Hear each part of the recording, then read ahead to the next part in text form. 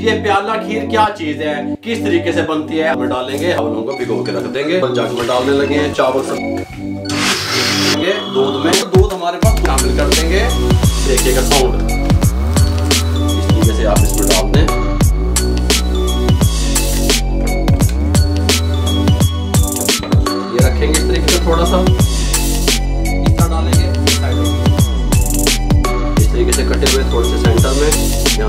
में aluminium file है। इसको इस तरीके से यहाँ पे करेंगे कर देंगे। तो ये फ्रिज में रखने के लिए बिल्कुल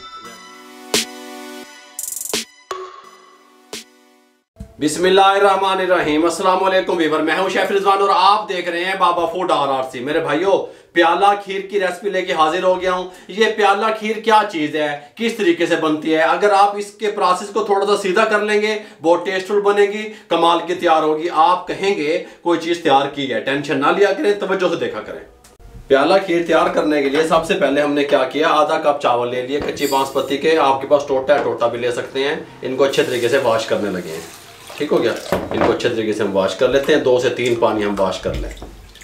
चावलों को हमने धो लिया। चावल हम एक बॉल में डालेंगे। हम चावलों को पानी में नहीं भिगोएँगे। गल समझ आई है? समझा करें छोटी छोटी चीज़ों को भी मैं की दस रहे ये हमारे पास दो लीटर दूध है यहाँ पे। इस तरीके से नीम गर्म हमने इसको किया हुआ है। नीम गर्म दूध में इसको हम चावलों को भिगो के रख देंगे तीस मिनट के लिए। ठीक हो गया? तीस मिनट के बाद आपसे मिलेंगे। हमने यहाँ पे बादाम, पिस्ता और खोपरा, कोकोनट जिसे आप कहते हैं। कोकोनट को पान में भिगो के रखा हुआ था। आधे घंटे पहले इसको काट लिया, इसको भी काट लिया, इनको भी काट लिया। ठीक हो गया? यहाँ पे इसको 30 मिनट कंप्लीट हो चुके हैं। इस तरह के जूसर वाले जग में डालने लगे हैं। चावल समेत, दूध समेत, ठीक हो गया? और अच्छे तरीके से इसको ग्राइंड करने लगे हैं।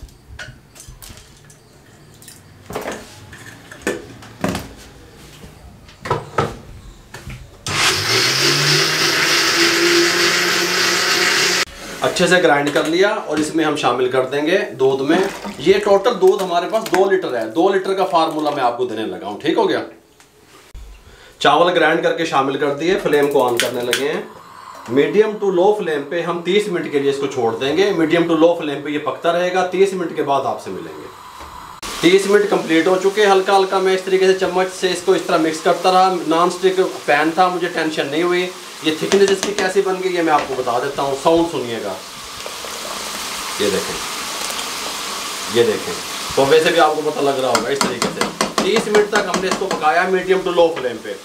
इस टाइम पे आके आपने क्या करना है 100 ग्राम खोया शामिल कर देंगे। इसके अंदर इस तरीके से ये कंडेंस मिल्क है, चाय वाली एक प्याली, ये शामिल कर देंगे। कंडेंस मिल्क को। और साथ ही हम इसके शामिल करेंगे चीनी। जो कि थ्री टेबल स्पून है, चीनी कम जाएगी कंडेंस मिल्क भी मीठा है, और चार अदद इलायचियाँ इस तरीके से तोड़ी हुई थी, शामिल कर देंगे। पंद्रह मिनट के लिए मजीद चम्मच हिलाते हुए इसको पकाएँगे। फ्लेम मीडियम टू लो रहेगा, फ्लेम हम हाई नहीं करेंगे। पंद्रह मिनट हो गए इसको मजीद पकते हुए, फ्लेम मीडियम टू लो रहा। अच्छे तरीके से चावलों ने भी अपना काम दिखा दिया। इस इस टाइम पे आके ये हमारे पास टू टेबल स्पून बादाम थे, इसको हमने क्रैश कर लिया, उसको ग्राइंडर वाली डब्बिया में पीस लिया। ये शामिल कर देंगे। इसको मिक्स कर देंगे। इस तरीके से, अच्छे तरीके से बादामों को भी। मिक्स करने के बाद हम फ्लेम को बंद करेंगे। फ्लेम बंद करके इसको रूम टेम्परेचर पे ठंडा करेंगे। ठीक हो गया? इसकी थिकनेस मैं आपको दिखा दूँ। किस थिकनेस में आपने बंद करना है, ये देखिएगा साउंड बस एहो जो हो तो बंद कर देना मजीद नहीं पकाना इसको। ठंडा होने के बाद भी इसने ठीक होना है। कभी तुम सख्त करके उतार लो। ठीक हो गया? इस टाइम पे आके इसका फ्लेम को बंद कर हैं और इसको रूम टेम्परेचर पे ले इसको हमने रूम टेम्परेचर पे ठंडा कर लिया। खीर को थिकनेस इसकी देख लें। इस तरीके से आ चुकी है। और हम, मैं इसको वक्फे वक्फे से चम्मच इसके अंदर हिलाता रहा ताकि इसके ऊपर बलाई की लेयर ना बने। ठीक हो गया? अब हमने आके मट्टी के प्याले ले लिए इस तरीके से। सुबह अल्लाह आपके घर मेहमान आए हुए हैं फ़ंक्शन चल रहा है, कोई ठीक हो गया? ज़्यादा गेस्ट हैं। आप इनको इस तरीके से फ्रिज से निकालें और मेहमानों को दे दें। बड़े साइज़ के भी यहाँ पे ये देख लें मौजूद हैं। बिस्मिल्लाहिर्रहमानिर्रहीम। इनकी आप फिलिंग करने लगे हैं। इस तरीके से इस तरीके से आप इसमें डाल दें।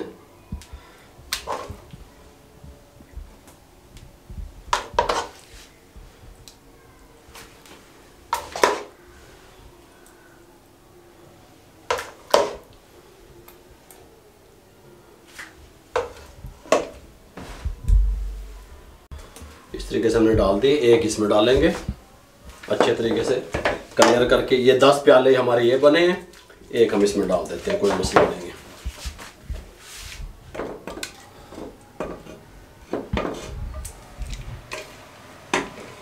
फिलिंग कंप्लीट हो चुकी है। दस छोटे प्याले, एक ये बड़े वाला प्याला, इस तरीके से। ये जो खोपरा है, ये रखेंगे इस तरीके से थोड़ा सा। ये इस तरीके से, सब में रख देंगे इस तरीके से।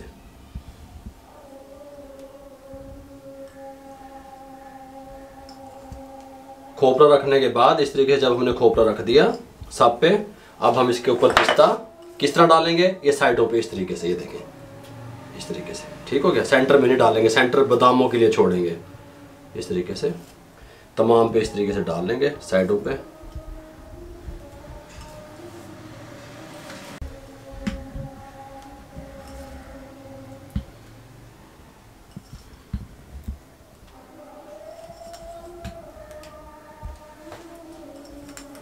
ये इस तरीके से पिस्ता डाल दिया सब पे। अब बादाम इस तरीके से कटे हुए थोड़े से सेंटर में, यहाँ सेंटर में थोड़े से, इस तरीके से थोड़े से यहाँ पे सेंटर में। थोड़े से यहाँ पे, थोड़े से यहाँ पे इस तरीके से, इस तरीके से। बहुत कमाल की इसकी लुक बनेगी, बहुत कमाल की ये तैयार होगी।